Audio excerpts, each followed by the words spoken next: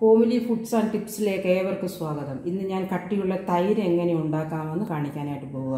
ഗ്യാസിനകത്ത് ഞാൻ എന്താ പാൽ വെച്ചു. അത് തിളയ്ക്കാൻ തുടങ്ങുന്നു. തീ കൂട്ടി കൊടുക്കുക. അല്ല പാലിങ്ങനെ പൊങ്ങി വരും.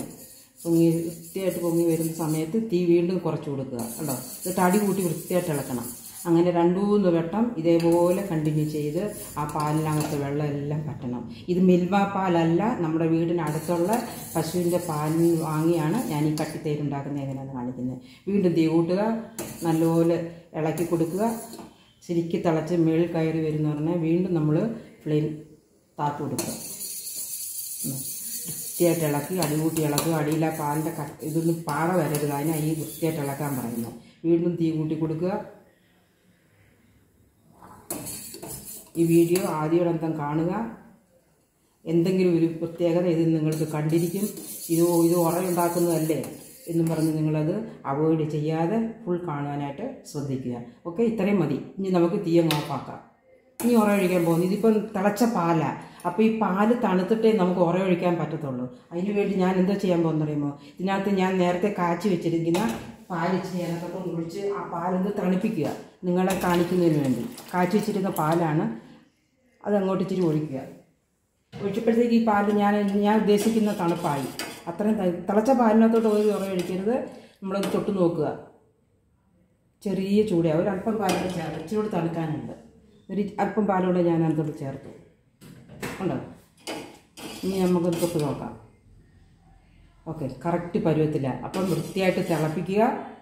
ചെറിയ ചൂടിൽ നമ്മൾ ഇനി ഉറയൊഴിക്കാൻ ഞാൻ പോവുകയാണ് ഞാൻ ഉറയൊഴിക്കാനായിട്ട് ഒരു കുടമാണ് എടുക്കാനായിട്ട് ആഗ്രഹിച്ചിരിക്കുന്നത് ഈ കുടത്തിനകത്ത് നോക്കിക്കോണേ പിന്നെ നമ്മൾ ഉറയൊഴിക്കാം ഇതേപോലെ ഒരു കുടത്തിനകത്ത് ഉറയൊഴിച്ചാൽ ഒരു ദിവസമൊക്കെ ഈ തൈര് ഇരുന്ന് കഴിഞ്ഞാൽ ആ കേടാവാത്ത അതേപോലെ നല്ല ഫ്രഷായിട്ട് തന്നെ ഇരിക്കും. ഇത് ഇത്രയും ഉറ മതി നമുക്ക് അത്രയും പാൽ തൈര കട്ടി തൈരാക്കി എടുക്കുക. എന്താ ചെയ്യേണ്ടതെന്ന് അറിയാമോ നമ്മൾ അതിനകത്ത് ഒഴിക്കുക എന്നിട്ട് ആ ഇരിക്കുന്ന ഏത് പാ കുടമെങ്കിൽ കുടം ഏത് പാത്രമാണ് നമ്മൾ എടുക്കുന്നതെന്ന് വെച്ചാൽ ചുറ്റിച്ച് ചുറ്റിച്ച് അതിനകത്ത് ഫുൾ ആ ഉറ ഒഴിക്കുക ഇനി നമുക്ക് തോനെ വേണ്ട. എത്ര പാലുണ്ടെന്നും പറഞ്ഞ് നമ്മൾ ഇനി അതിനകത്ത് ഉറ കൂട്ടി കൊടുക്കണ്ട. ആ അല്പം ഉറ മതി. അതെല്ലാം ആ പാത്രത്തിൽ ഫുൾ ഇങ്ങനെ പറ്റിയിരിക്കണം. ഇത്രയും നമുക്കത് ചെയ്യാനുള്ളൂ. ഉണ്ടോ അതിനകത്തെല്ലാം നമ്മൾ പറ്റിച്ച് കഴിഞ്ഞു. ഇനി നമുക്ക് കണ്ടോ കണ്ടോ ഒന്നുകൂടെ കാണണോ കണ്ട് കണ്ടോ. ആ തൈര് മതി. അത് ആ പാത്രം ഫുൾ അങ്ങ് ചുറ്റിക്കുക.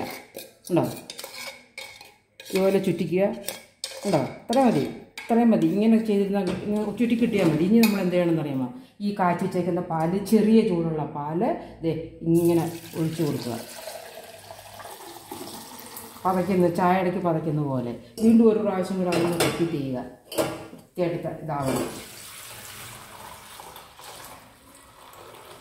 ഉണ്ടോ? ആ പത വന്നുകൊണ്ടോ നമ്മൾ ചായ എടുത്തപ്പോഴുള്ള പത പോലെ അതേപോലുള്ള ആ പതയോടെ ഇങ്ങനെ വരണം. കുടത്തിൽ തന്നെ ഉണ്ടാക്കാനായിട്ട് നമ്മളൊന്ന് ശ്രദ്ധിക്കുക അതെ ഉണ്ടോ? പത ഇങ്ങനെ പതഞ്ഞ് വരണം. ഉണ്ടോ?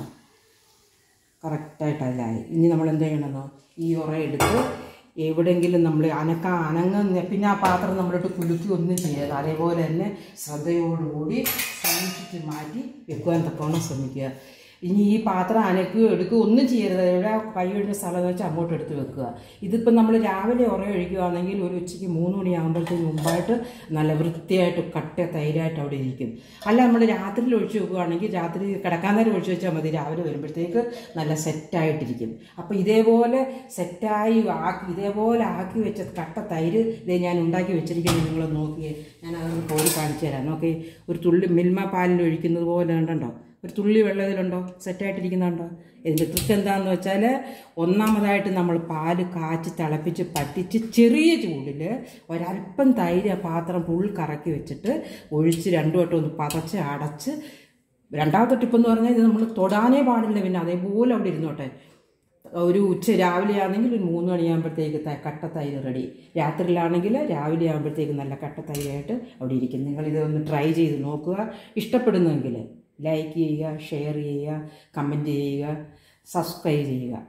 അങ്ങനെയാണെങ്കിൽ ഇനിയും നല്ലൊരു ടിപ്പുമായിട്ട് ഞാൻ വരുന്നത് വരും. അതിന് ആ സമയം വരെ എല്ലാവർക്കും നന്ദി.